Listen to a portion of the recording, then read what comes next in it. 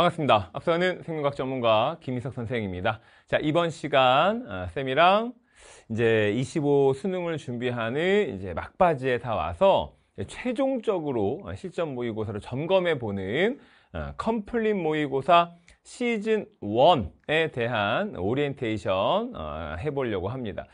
우리 이제 앞에서 All New Basic 기본 강좌, All New Basic 심화 강좌, 그리고 이제 그 History, New Story, 기출문제 풀이, core 강좌, 유전 특화 강좌 다 아, 공부를 하고 와서 어, 이제는 어, 실전 시험장에 앉아서 보는 거와 같이 예, 최종적인 점검을 하려고 하는 거기 때문에 여러분들 요, 요 이제 시즌 1, 시즌 2 두 번을 보면 이제 쌤이랑은 안 보게 되는 거야. 어, 이제 수능장에 가서 여러분의 열심히 1년 동안 공부한 거를 가지고 어, 실력 발휘하면서 이제 원하는 성적을 받고 이제 내년에 즐기시면 됩니다.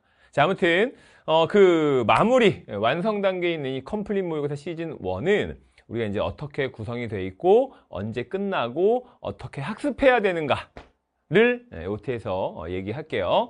자, 먼저 구성 및 일정이라고 하면 3회분으로 어, 되어 있습니다. 실전 모의고사 3회분 되어 있어요. 그래서 1회, 2회, 3회 가 있고요. 어, 특징은 뭐냐면 최근 트렌드를 좀 많이 늘려고 노력했어. 그래서 이제 음, 기호를 활용한 경우 판단형이라고 하는 것, 또 자료가 비유전에서 다양한 자료 이런 것들을 쌤이 는 거니까 어, 문제 한번 풀어보시면 좋을 것 같아요. 어, 완강 일정은 8월 25일 날 완강 예정인데 이거보다 조금 더 앞쪽으로 당겨질 것 같아. 어, 근데 이제 조금 어, 너무 땡겨놓고 좀 미루면 좀 그래. 어, 여유있게 잡은 겁니다. 아무튼 8월 음, 25일 날 25일 전에 어, 완강이 될 예정이기 때문에 일정을 한번 한번 보시면서 8월 첫 주, 8월 둘째 주, 8월 셋째 주 이렇게 이제 한 회씩 연습해 보시면 좋을 것 같다라는 거 이제 일정 보시면 되고요. 어, 사실 이런 거는 뭐 3회로 돼 있다 뭐 이런 거 그냥 보면 돼. 이제 문제는 어, 내 거 좋다 뭐 이런 얘기니까 넘어가면 되는 거고. 실제 우리가 공부를 할 때 이제 모의고사에서 어떻게 해야 되는가 어, 그 얘기를 좀 합시다. 첫 번째 어, 문제를 푸는데 여러분이 문제를 그냥 이제 풀다 풀게 풀 때는 이렇게 될 거야. 막 콕콕콕 이렇게 넣는 경우들이 있어. 그래서 이제 어, 전문 용어로 아다리가 맞으면 맞추고 아다리가 안 맞으면 좀 불편한 어, 그런 상황들이 생길 텐데 어, 모의고사를 풀면서도 여러분 문제는 항상 음, 어떻게 하는 거냐면 요소 파악을 하는 게 엄청 중요해. 이 문제를 구성하는 요소가 무엇 무엇 무엇이고 내가 이 요소는 아, 어떤 유형 정리를 할 때 나왔던 거니까 얘는 이렇게 활용해야 되겠구나. 뭐 이런 것들을 여러분이 어, 쌤이랑 상반기에 정리해 놓은 거잖아. 그러니까 어, 문제 요소를 보고 그 요소가 어, 이 문제 어떤 유형의 어떤 거를 제시하기 위해서 나온 건지 판단할 수 있어야 되고 또 그 요소를 우리가 어떻게 활용해야 되는가. 예를 들어 가계도에서 DNA 상대랑 합이 나왔어. 그럼 어떻게 할 건지. 구성원을 제시했어. 그럼 어떻게 할 건지. 이해되지? 어, 이런 것들. 해서 어, 구성원 나오면 이제 뭐하라 그랬어? 라고 하는 건 쌤이 이제 문제풀이에서 계속 얘기하는 거니까 보시면 되고요. 자, 아무튼 음, 문제 요소가 어, 실제 어떻게 쓰이는지를 계속 정리를 하셔야 돼. 그러니까 이제 이게 제일 잘못된 거고 봐 문제 풀면서 어, 문제 막 풀고 에이 틀렸네 에이 와 맞았네 하고 넘어가는 이게 제일 잘못한 거고 문제를 풀면서 아 여기엔 이런 요소가 있구나 이렇게 풀었어야 되는구나 여기엔 이런 요소가 있구나 이렇게 풀었어야 되는구나 이런 피드백 하는 게 너무 중요해 그리고 여러분한테 만약에 불편함을 줬었던 요소가 있다면 All New Basic 심화 교재와 어, All New Basic 기본, 기본이 이제 교과서기 때문에 좀 그렇고 심화 교재의 유형이 다 써 있을 거란 말이야. 그럼 이게 어떤 유형이었지? 한번 점검해 보셔도 돼. 아, 근데 내가 이 유형을 어, 알았는데 문제 적용을 못했네. 왜 그랬지? 다시 한번 정리. 그리고 아 이렇게 활용하면 되는 거였네. 정리. 이런 피드백을 해야 되는 겁니다. 그래서 요소 분석 엄청 중요하고요. 자, 두 번째는 시작 점과 전개 과정을 파악하는 게 중요한데 이거는 시험에 가장 중요한 거야. 경우 줄이기 연습이야. 그러니까 어, 경우 세팅을 했는데 경우 세팅이 네 가지 다섯 가지가 나왔다. 그럼 세팅 완전 잘못한 거고 어, 한 두 가지 나왔다. 아우 잘한 거야. 두 가지 나오면 둘 중에 하나가 답이고 하나가 아닌 거니까 그냥 출발하면 돼. 근데 우리가 이제 추구하는 것은 어, 최상 하나로 좁힐 수 있는 것. 명확한 선택을 할 수 있는 것. 자, 그거를 여러분이 찾아가는 연습을 하시면 되겠습니다. 모의고사를 통해서. 됐죠? 자, 그리고 이제 모의고사라서 이 3번을 넣은 거야. 어, 쌤의 강의를 여러 번 본 친구들은 이 얘기를 몇 번 들었을 거야. 어, 근데 이제 쌤이랑 공부를 하지 않았었던 학생들은 아마 어, 이 여기에 나오는 이 단어에 굉장히 관심이 많을 거거든. 근데 다시 한번 이야기하겠습니다, 여러분. 시간은 관심 없어요. 시간은 관심 가지시는 거 아니야. 알겠지? 야, 이런 거 있어. 어, 뭐, 기본 문제 13개 혹은 15개는 몇 분 안에 이런 거 없는 거야. 왜냐면, 여러분 보세요. 13개를 맞출 때, 뭐, 이 가장 좋은 시간은 뭐, 7분 반, 막 이런 얘기 하잖아. 8분 안에 끊어야 돼, 막 이런 얘기 하는데, 여러분, 13개를 8분 안에 끊겠다라고 딱 정해 놓잖아?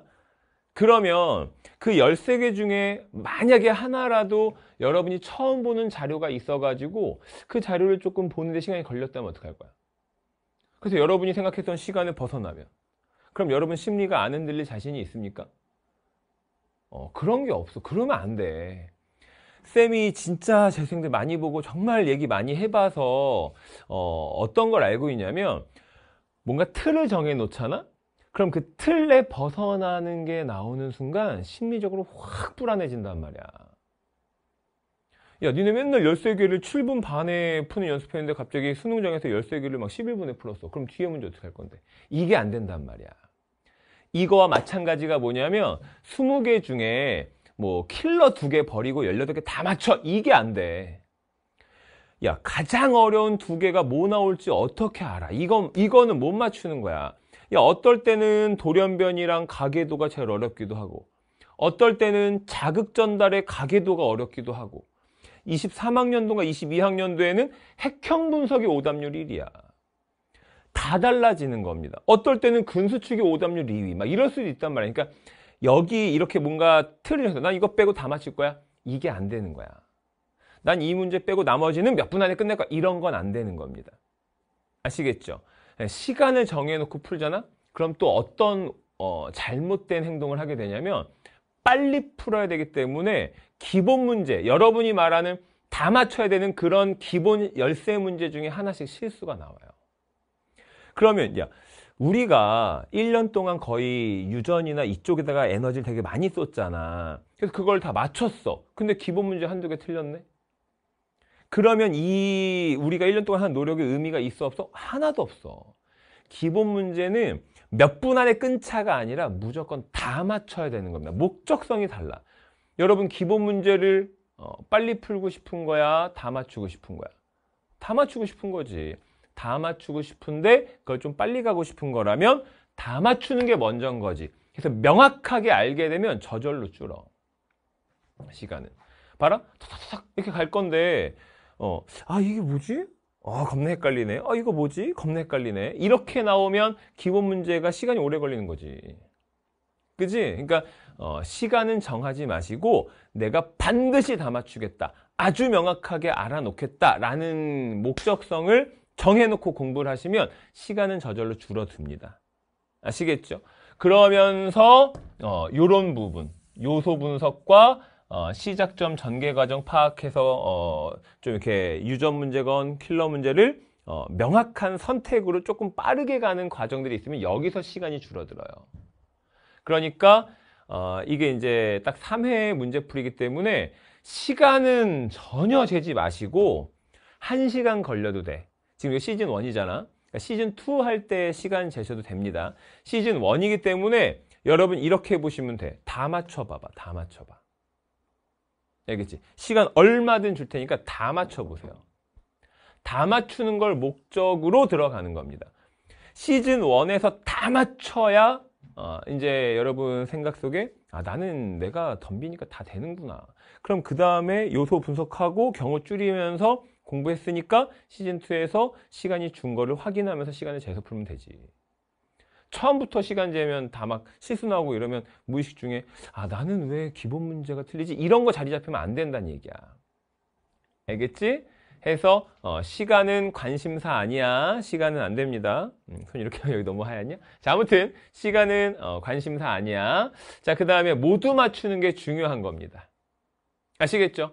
해서 우리는 이렇게 학습 방법 요소 분석하자.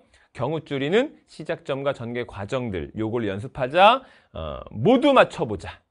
음, 시즌 1에서는 딱 이 세 개의 목적을 가지고 공부하시는 걸 추천합니다.